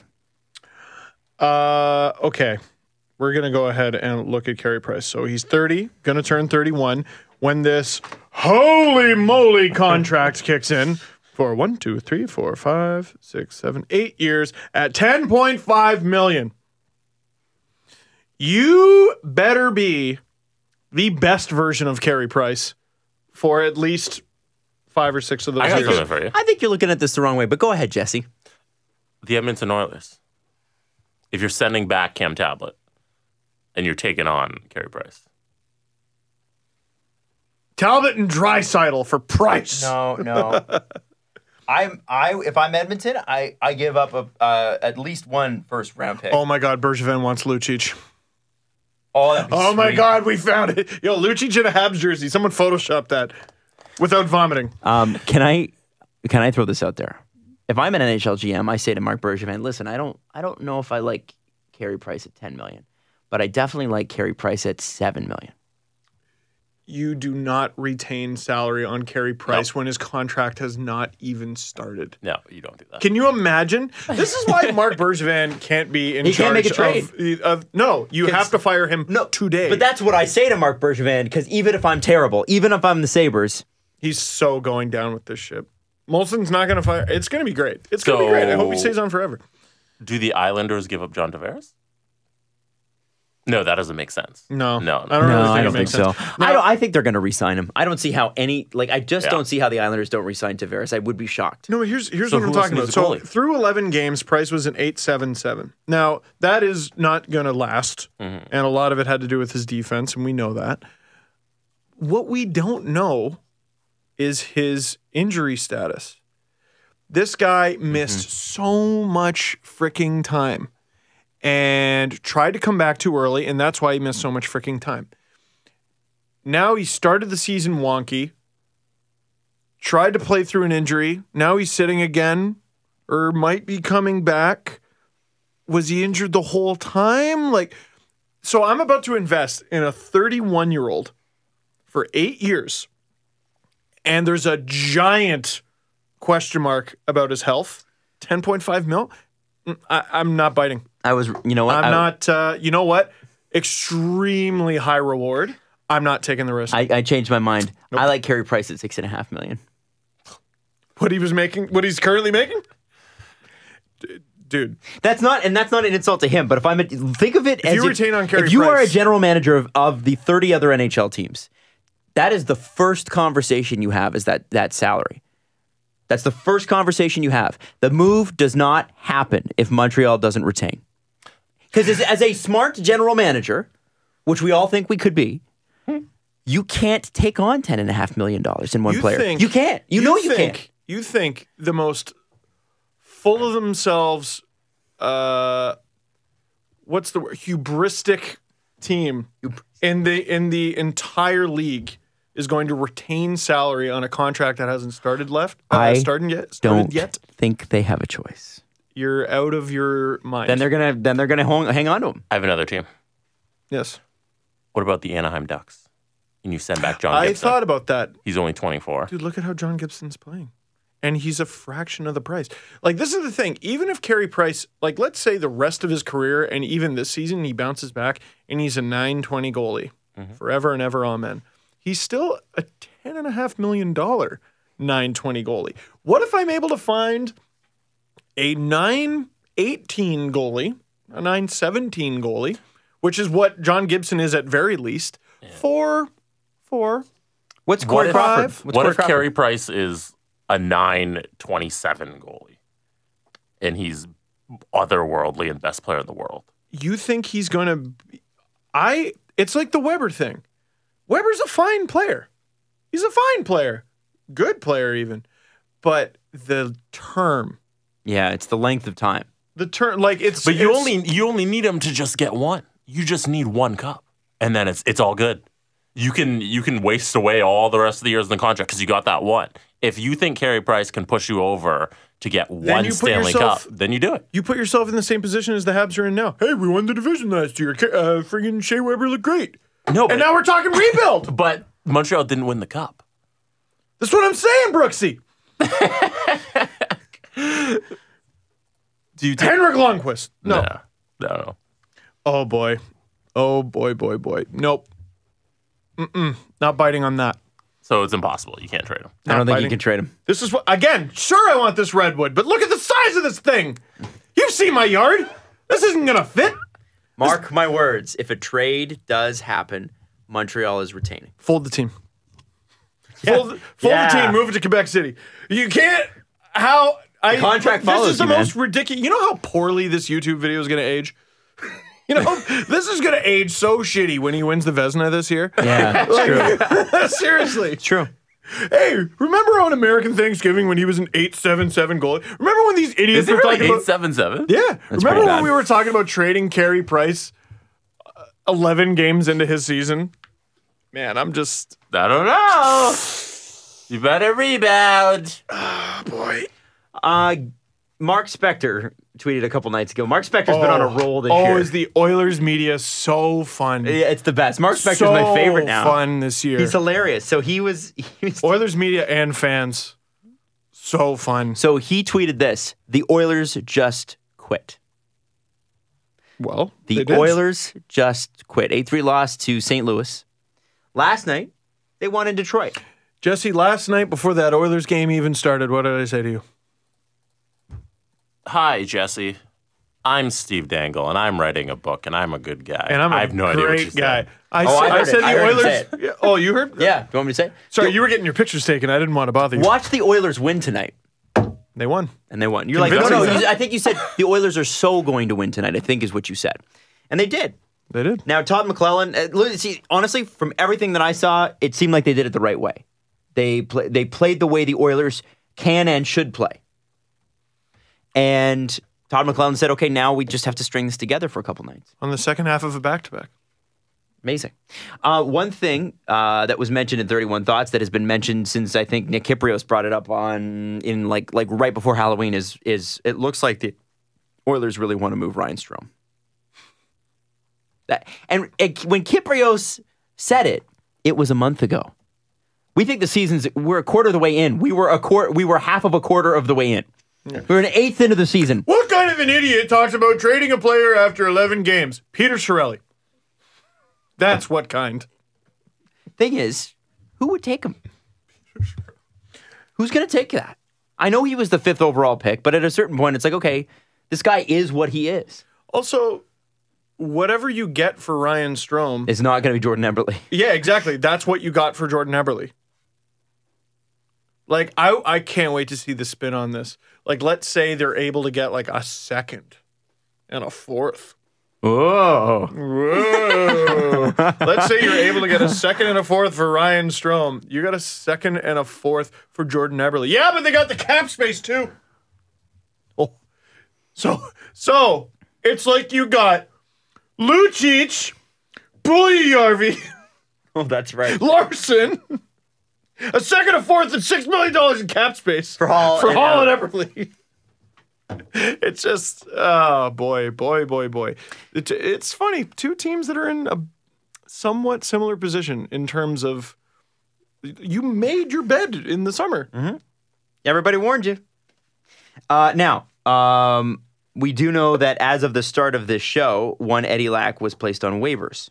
So I wonder if the Oilers don't put in a claim for a guy like that. You know, he No, Well, it's only been his last 58 games that have been really bad. But he, I know that sounds ridiculous to say no, no. I, I know. Why Adam, Say it again. I know why Adam brought that up here. Okay. go, go because there's a tweet about that. Yes, The point is, he started off quite well, and if you if you remember a guy named uh, Devan Dubnyk got his game back when he switched play, like he switched that switched is teams. once in a blue moon, though. Okay, so sorry. This is from James Mirtle. So here's what Adam was referring to. Eddie Lack's first 82 games in the NHL. He was a 917 save percentage goalie. That is just Pretty below good. Freddie Andersen's career average.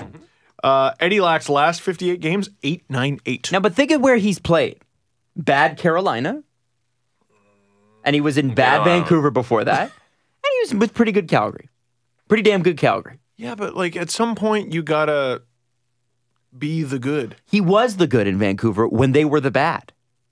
Oh, that sounds like But he then he three got bad. shots at it. Yeah. yeah. Like at what point do you just go, there isn't a good goalie here? Yeah. I think you give him one more shot. He already had three though. I mean, Antti Niemi found a team. Yeah, man. right? Yeah, that's Yeah. going well. Well, it's not He going won. well. Or no, he got No, a point. he- He, he got a didn't. pity point. yeah. And a shootout loss. Great. Or as Jesse just calls it, a loss. Um, I wonder if a team like Arizona or Vegas. Or, that was one of the things I tried to get Hammond to bite on. I'm Going like, have, have you been looking around the league? And he's he's just kind of like, no. And I'm like, really? Because Vegas has used five goalies already. um, Trying to put that square peg in that round hole. yeah, I mean, I think it's a uh, round peg in a round hole, and he was just pretending not to see it. Uh, can we talk about Brock Boser for just a second? Brock Besser. Besser. Bowser. Brock, so, Bowser. so Brock Boser. So Bro- Brock Dubinsky. Chad Brock Binsky. Brock Lesnar. Um, I there were some tweets I read yesterday that were so great. I have a Brock Lesnar thing after. Uh, that people were so upset. Canucks fans were so upset when this guy got drafted. So upset. They were? Oh yeah, there's so many like all the Canucks Reddit just went fuck, fuck, fuck, fuck, fuck. Really? Yeah, because nobody knew who he was. Oh. And and again, because not everybody follows it as close. And I, I thought he was highly touted from day one. Maybe it's because he was a college guy. so what's amazing is now he might win. He might win the the Calder, and if he doesn't, I what would a be Calder shocked. race. What a great. Calder race this year. It's fun. Uh, Clayton uh, Keller? Clayton Keller, Brock Boeser, and Matt Barzal. Barzal. Barzal. You mean former Oiler? Matt Barzal? Could have been. Ah, but Griffin Reinhart though, right? Yeah. Uh, he looked good. Oilers lacking The least, the, sorry, the, the Oilers, I think, weren't even going to take him, even if they had the pick. I think they were going to go with Emerson Eck, but even then, that would still be a pretty good pick. but Griffin Reinhart. Uh, also of note, and I thought this was interesting, if your team is in a cap crunch, this is good news. Oh well, here. Sorry, before you get to that, okay, were you moving on from Brock Boeser? I was moving on from Brock Boeser. I just want to say he's fantastic and it's amazing to watch. I just wanted to say that a lot of Canucks fans wanted me to point out that he has, I think he's tied with Auston Matthews in scoring. Oh! You know, people complain about the coverage that the Leafs get, but if national broadcasters talked about the Leafs and Auston Matthews as much as fans of other Canadian teams talked about the Leafs and Auston Matthews, they'd never be off the air. Oh, sends? Oh, What was it? What was oh, it? it's all I see. Was it Mark Stone? Oh, Somebody's Mark like, Stone oh, thing. Mark Stone is beating Auston. Well, he's played more games. oh, there's a couple. but hey, listen, why can't it just be, hey, Mark Stone's having a great year? Yeah. Like he Why is. it get, let it be divorced from Auston Matthews? Like, why does that matter? Brock Boeser is great. You know what I'm going to do? Compare him to the guy in Toronto. in Toronto who we play twice a year. Yeah. I mean, and hey, okay, let's have this conversation next week when the Leafs play the Canucks. I hope it's not there's- relevant right now. I I, hope Leafs and Canucks fans, first off, um, I can't never- wait till that heated twice a year rivalry kicks off. never civil with each other, but I, I definitely hope that it's somewhat like what last fall's game was, which is they hate each other and the hate comes back out. I hope it's more like the version that Jesse saw. The disappointing version. the re, the re, uh, one of the things I was also checking out, uh, or I saw uh, floating around is somebody thought um, on Canucks Reddit, they're like, uh, they call Gudbranson Goody. Yep. So they're like, Goody's going to be great when he lands this Nylander. You're not watching the games, are you? I, I, I, I'm going to give them the credit that they'll they were kidding. I don't think so. No. I don't think so. Well, the replies certainly weren't. They were like, yeah, it's a great idea. Well, I mean, if we can't get Ekman Larsson with Nylander, we might as well go after Goody. Um, Commissioner Gary Bettman, if you are if your team is in a tough spot, this is great. Gary Gary Bettman indicated that he thinks revenues will be between 4.5 and 5 billion this season.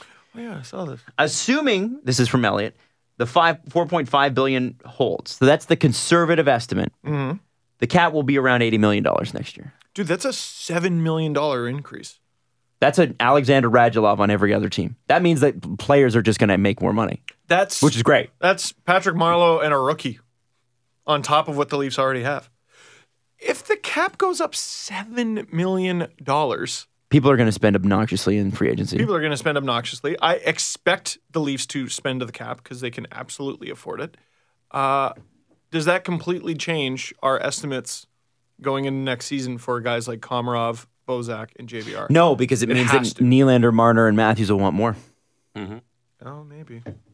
They're going to want a greater percentage. I, if I'm an agent, I look at, Oh, did I look at Auston early? Matthews, and I, I here's how I, if I'm Auston Matthews' agent, which hallelujah, glory, hallelujah, um, I go into next season going, I don't, I don't want to think about the number. I want to think about percentage of the cap. So we go in and go, like Connor McDavid is, what is he, 20% of the Oilers cap? Give me that. Yeah, That's like the fifth thing, fifth time you knocked that coffee cup over. 20% of the Oilers cap, probably, right? Somewhere in that range. Yeah. If I'm Auston Matthews' agent, I go, Connor McDavid was 20% of the Oilers' cap. He is this percent of their offense. Auston Matthews is this percent of the Leafs because you're going to use Connor McDavid, right? Why wouldn't you? What based on that percentage? Here's how I've come up with my number. You don't go number first. You go percentage Glad first. you asked, Adam, because I love this city and I love this team and I want to create a winner. So I'm going to take six no, times six. I'd be embarrassed. I'd be so embarrassed if that's what the Leafs were like. Yeah, we'll give you six million. No, Matthews insists. Oh yes, six is all I need. And I want half of it to go to charity and the other half to go to Zach Hyman. Piss people off. Because I think it'd be funny. It- it's in Auston Matthews' contract that Zach Hyman has to play with him, Yeah. I, so you uh, can't take him off his wing. so they never they never ended up putting Martin with Matthews and Marner, I don't think. But uh, when that lineup was announced, I was like, well, game. I uh, mm, maybe a shift or two. I'm trying to Okay. remember, but um, uh, just uh, uh, wh- when when the lineup was announced and they had Martin on that line instead of Hyman, I was like, well, for everyone who wanted Hyman off that line, congratulations, you got your wish. you got Matt Martin. yeah, careful what you wish for, Dick. Imagine, you, imagine you told yourself that from two months ago. Like, well, they are going to remove Matt Martin, or sorry, uh, Zach Hyman, but they're putting Matt Martin in there. you'd have been like, uh. Dude, that first goal that that line scored against Montreal, which was the five nothing goal. So I mean, we're we're talking a little bit of moved goalposts here. Uh, It started with a behind the back between the legs pass from Matt Martin. it was unbelievable. Um, we are though seriously looking at the possibility of the Leafs missing Hyman for a game or two because he was taken out of the game by the concussion. He was at practice today, though. Eh, concussion. Hey, full practice. Eh, well, no, but I'm saying like it goes in waves, right? So you never know. Maybe tomorrow he wakes up and he's like, oh, I got a barf and I don't feel like playing. Um, if you had to change it all up and Hyman wasn't healthy, who would you put in his spot? My answer that I said in the video today was Connor Brown. Wait, which spot is Hyman playing in? On the First line left wing. oh, so you still have him on Matthews' line? Yeah. Okay. Yes, Adam? Leaf lines today. Oh, Interesting note that you guys bring up Hyman because he is on the lines. Doesn't mean he'll play, but he is on the lines. Hyman, Matthews, Marner, Komarov, Kadri, Soshnikov, okay. Van Riemsdyk, Bozak, Nylander, Still, yeah. Leivo, Marleau, Brown. He hates Moore, dude. He cannot stand that player. Let's also throw this out there. What's that last line? Leivo, Marleau, Brown. Who else is sitting? Oh, what? Oh, because Matt Martin left last game. Maybe he's hurt. Well, Jonas Siegel said that that, yeah, could be Holy that. Shit, what a line. Jonas Siegel says Babcock confirms that Martin is healthy. He will be a healthy scratch probably tomorrow in Carolina. Did you add that little, bit? or does he say? Babcock probably- confirms Martin is healthy, stands to be a healthy scratch Friday for the first time as a Leaf. That is from oh. Jonas Siegel. Oh.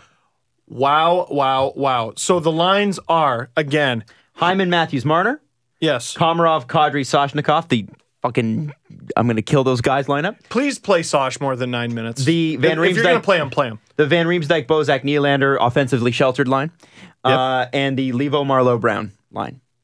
Holy shit. Interesting. Oh, yes, I. I believe that might be the most optimized we've ever seen this Leafs team be. That is, to me, the best lineup that they can put out there in terms of players. I don't know about the combinations. To me, I don't know unless you put Kapanen in there. You're going to get some people going, no, the way they could actually do it is, but please tuck that in your back pocket. That's incredible. And they did what a lot of Leaf fans have been screaming for for a while. God bless Matt Martin, but maybe take him out of the lineup. Now, hmm? is he a healthy scratch or is he a banged up but playable healthy scratch? Do you know what I mean? I don't know. Mm-hmm. Like he's Matt Martin I mean, at eighty percent. yeah. Wasn't he?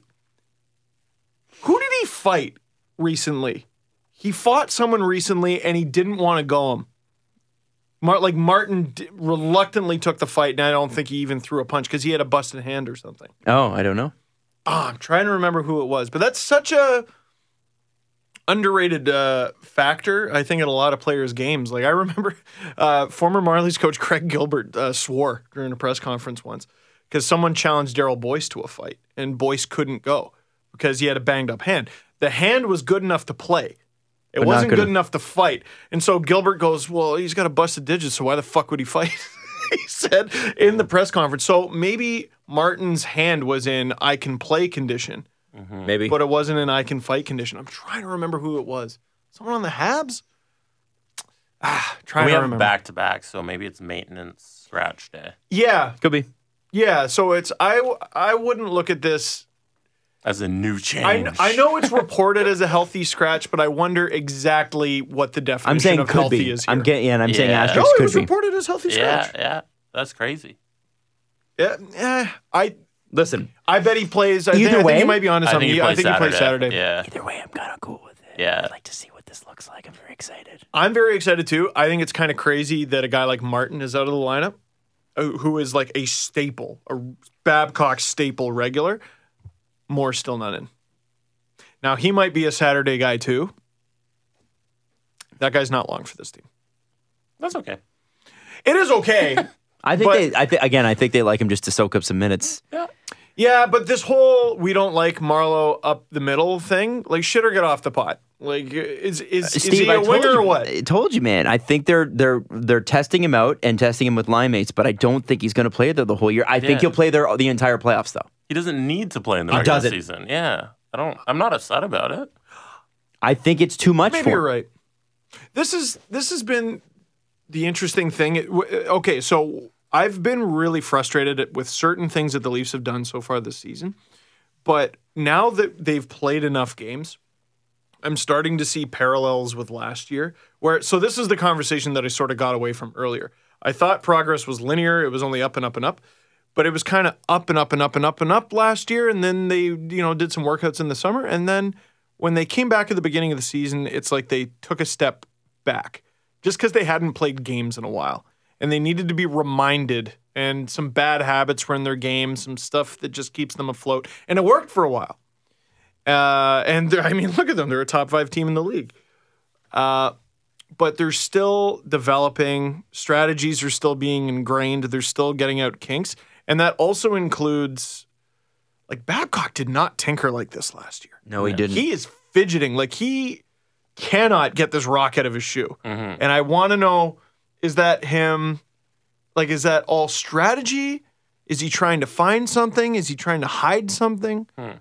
I don't get it. Maybe he knows his postseason lineup and he's kind of messing with it now and he doesn't need to set it for 82 games. Mm-hmm. And once we get there, we'll know. He'll know what works and what doesn't. And throughout the season, he'll throw teams off and he'll try out all these different lineups and hopefully something sticks. And he knows it once game 83 comes. I feel like Nylander and Rielly were his biggest projects last year. What do you think it is this year? Marner, and I'm not sure. Marner and maybe a set line. And maybe that fourth line and first line. Might be Zaitsev in a way. It seems like, Like you're putting he's really putting him through the ringer. the way they put Rielly through the ringer last year because they did. They didn't put, put him on the power play at all. Similarities with Zaitsev. I think that's what they're doing. They're But trying the, to the defense seems set, though, like in terms of lineup. sure, but the usage happy. is different. Yes. Yeah, the use, yeah, Yeah. for sure. So for sure. that to me is the difference. It's interesting. I think they're, trying to develop Zaitsev into more of Yeah. an all-around guy. So like we talk about like the optimal lineup, but I think he is genuinely trying to develop certain guys. Year one, when they finished last place, Kadri was his big project. It worked. Yep, it sure did. Nylander by the end of last year, holy shit. Rielly, once the playoffs came, holy shit. And now he looked at Marner last year, a guy who like they weren't even sure was going to make the team. Stayed afloat. There weren't there were some things he wanted to beat out of his game. This season, he has spent a big part of the early part of the season beating it out of his game. Uh, and I, I wonder if Zaitsev's his other project. I'm not sure. I think he is. I think they're definitely putting Zaitsev through the ringer. They want to make him into a. I mean, they didn't. They didn't sign him for seven years for nothing. They're obviously exposing him to see how far they can push him and how much he can learn. It's I like Just use it like his usage has got to be similar to the way Rielly's was last year in terms of minutes played. He's playing a lot of shorthanded, not a lot of power play. It's Rielly on the power play who didn't get any power play time last year, and that's where Zaitsev got a lot of his points. I It's like I almost want to like arrange the Leafs by like stars, dependable vets, soldiers, and projects. Hyman and Brown are soldiers. Babcock throws him out there, and Komarov's a bit of a soldier too. Just listen to me. Never question me. Do exactly what I say. Thank you very much. Then you got guys like Hainsey and Marleau, who you don't even have to talk to. Like they've been in the league for too long. Matthews is a star. Bit of a project, I guess, just because of how young he is. But he, mm-hmm. I mean, he's a star. needs to be protected at least. Rielly is sort of graduating into vet. Kadri is a vet. And then you got like Zaitsev, like this is only his second year in North America. Mm-hmm. Even though he signed that giant deal. Like when Babcock put Rielly through the ringer, he had just signed that giant deal. Like I only just came up with this theory now, but it's starting it's making a lot of sense. God, this team looks so good on paper. I don't know. I've been talking to people for a long time, like from the day Martin was signed, that they'd be shocked if he uh, finished that contract in the NHL. Is this the beginning of the end, or is this just He's banged eighty percent healthy? Probably eighty percent healthy. Right.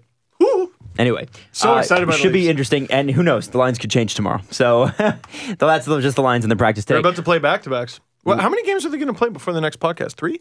I think so. They go on Monday, right? Yeah, I think it's uh, isn't so. it Friday, Saturday, Monday? Got a lot of games coming up. Hey, um, And let's, they've already played like the most in the league. let's do the press conference. Press conference. Here's, I think, a passive aggressive comment for Adam. Great. Spellbound Unicorn wants to know Adam, as captain of, we have to allow for a margin of error. Aren't hmm? these outrageous calls by human refs just part of the margin of error we have to accept? That's part of what I was saying. What? Say that again. As captain of, we have to allow for margin of error. Aren't these outrageous calls by human refs a part of the margin of error we have to accept? Yeah, and I said that the what the what needed clarification was the rule. I said the refs called it the right way.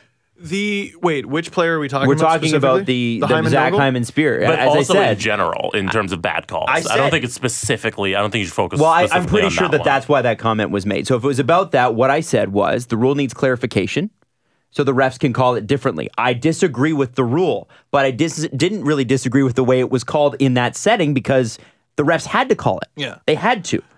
Uh, so I think that the rule. I think they need to sit down and go, okay, what is this really? Let's get into all the different scenarios that we can do, and I'm sure they will, um, and, and figure this out because it's obviously a new rule and it needs refining. Fine.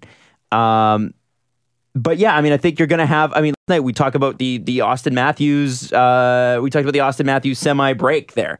I mean, very clearly, Auston Matthews' leg is hit first. Well- but the guy ends up hitting the puck. So what is it there? You know what I mean? Here's the very clear difference for me and why I was so mad about the Matthews no goal and so forgiving of the uh, Matthews breakaway. The Matthews breakaway wasn't a review. It was just a real time play Hmm. that looked pretty damn close. I'm not going to bug him for that. When you screw up a review, ah, you were looking at the thing. Now, I don't think they screwed it up though. I still think that they. it- it's clearly a 50 50 thing. A lot of people were on my side, and a lot of people were very mad at me. I, I also got a real kick out of all the people from Arizona calling me biased. it is. It's a. It's a great. As we said, it's a gray area. Yeah. So You're just a biased Leafs fan. Looks Arizona. Hmm. I think I've solved this mystery. but you know, you know what I wanted to say, and I couldn't. I couldn't think of a non-condescending way to put this into a tweet. You know what I didn't get years ago when I would talk about Arizona? Comments from Arizona. I got tons after this game. It was great. It was great. There you are. You're in the haunt, uh, the online hockey landscape in a big way. Shout out Arizona fans. Shouldn't have won that game. Bunch of yeah. cheaters. So yeah, listen, I'm I'm all for for human error, and I, I've said that because I think it's a human game played by humans, and it should be refed by humans. Yeah, Um, it is. But I definitely said very clearly on the last show, the refs need to have that rule clarified for them, so that in that situation they can make the right call. And I think if anybody looks at that. Here's very clearly whether or not you agree that they made the right call. Very clearly, Hyman was pushed. Make the Should refs, Hyman be have be, be responsible for his stick? That's up for your. But but I mean, like it's it's he was very clearly That pushed. was also a very weak argument to me. He's got to be responsible for his stick. You're allowed to have your stick off the ice. If I take your glove, if I take your glove and I punch myself in the face, are you getting roughing? You got to be responsible for your hand, Adam. if I take your stick and I just throw it into my face, is that high sticking? You got to be responsible for your, for your stick, Adam. Oh, but you didn't move it, you might say. Well, the rule says. Like, I, I think the way this gets solved is make refs or the video officials available for question. You know what would be great? You know what would be great? Oh, they would never do that. You know what would be great television? Mic the refs up. Broadcast the entire conversation. Oh, I don't think so. They'll never do that. What are you worried they'll say something inappropriate? Will- Maybe don't well, have an for sure. inappropriate conversation over a live mic. No, man. I think you're talking about the integrity of the game at that point. The NHL doesn't want that What are you talking about? Like what's what is the downturn? What's the down because somebody will make a mistake. Everybody will make a big deal of it. And what it, the focus then becomes the refs suck or the refs are biased or this game doesn't know how to be refed or whatever, rather than what happened in the game. Here, here are your options. Live, after the fact, cower. Well, they're going to cower. There you go. As long as that's out of the way. They're going to cower. Yeah. And you know what? As If as I was running the way league- that that's what they're doing. You better believe I'd cower too if I was the head of the league. I would never allow that. Are you kidding me? that's fine, and I'm not even saying I blame you. As long as we get it out of the way that that's what you're doing. That's what I would do. So anyway, to answer the question, I think the rule needs to be clarified so the refs can call it the right way. I don't like the way Hmm. it's being called currently, and that goes for most of the time. I'm kind of like, mm, I'm not so sure about I'm a this. reasonable guy. You might convince me I was wrong. I've said it, Yeah. Anyway, next question. but I'm just salty. This is from Oscar. Oh, Hello. actually, I have an email. I sent you guys the email and you guys didn't even respond. Whatever. I'll read it I was on the doing show. stuff. Um, t- t- t- this is from Rachel. What's up, Rachel? Hello. It's a little long. But um, she says, I met my fiance Chester on Tinder. He's an Aussie living in Toronto who one day uh, up and sold everything he owned in Australia to move to Canada because he loves hockey. He Wow. expected it to be the movie Mystery Alaska. Have you seen that? Yes. Yeah, I it's- have not. Where Russell Crowe is. Uh, Fight round the world. I'm an Alaskan. Bye, Cracky. and skate to work, but instead he plays on me- men's leagues three times a week because we live in Toronto. We bonded over video games, board games, and hockey. Um, he liked my Tinder photo because of my Leafs jersey, and he was a Pens fan because this was the first team he saw play live when he when traveling to North America. I pushed your podcast on him, which led him to get getting us a pack of Leafs slash Marley tickets. Now we have two Leafs jersey in the house, and it's uh, and they're a big Leafs fan. They proposed. He proposed last February, and we're getting married next August and he, she doesn't think they'd be together if he hadn't converted to a Leafs fan. Uh, she just wants to say thank you so much for helping make my fiance a real Leafs fan. We talk about every podcast episode and watch these videos together, which is a really good break from wedding planning. yeah, hey, here, here. You know, Uh-huh. he did buy low with uh, being a Leafs fan, which is good business practice. But Mm-hmm. uh, boy, did he sell at the wrong time with being a Pens fan. Yeah. Uh, and here's a little bit. I was wondering if you guys would be able to shout out Chester. This is your shout out on the episode this Thursday, which is right now. His birthday is this weekend. Happy birthday, Chester. Happy birthday, Chester. Yeah. Here, let's let's not be obnoxious about it. Happy birthday, mate! Sorry. Happy birthday, Chester. Shout out Sasky. And he, and he still Do you watches. know Sasky, Chester? and he still watches new episodes of Dragon Ball Z every week, which I didn't know existed. Which are still coming out, I guess. There you go. Yeah, but it's Dragon Ball, Kai, Zen, Z, B, double D, friggin' also, Rachel says she's pretty sure she's neighbors with you, Adam, because she's seen you at Rabba a couple times, Oh, I go to there a lot. but she's too afraid to say hi. oh, Rachel, next time just say hi. There you go. You ever get those uh, Portuguese custard tarts? They're at the No, I front. never. Oh, and she Oh, sent a those are photo of her dog. That I'll leave. Is it a good doggo? Oh, what a good doggo! Got at least your- Oh, oh, that's a good that's- jersey. I gotta get one of those for Bindi. Where do you get those? Oh, the store. there's He's pretty the dog. cute. oh, he's wearing plaid. He's like a real Canadian now. That's how you're you become a real Canadian. Is you wear plaid. There you go. Nothing else. It's no citizenship ceremony. Plaid. Plaid. Oh, that's very nice. That was very nice. I like that. That's good. All right, let's go. All right. See you Tuesday. Yeah. Follow the guys on Twitter at Steve underscore Dangle, at Adam W Y L D E, and at Jesse Blake. The Steve Dangle Podcast. Brought to you by Panago Pizza. Order at panago.com and stuff your face with deliciousness.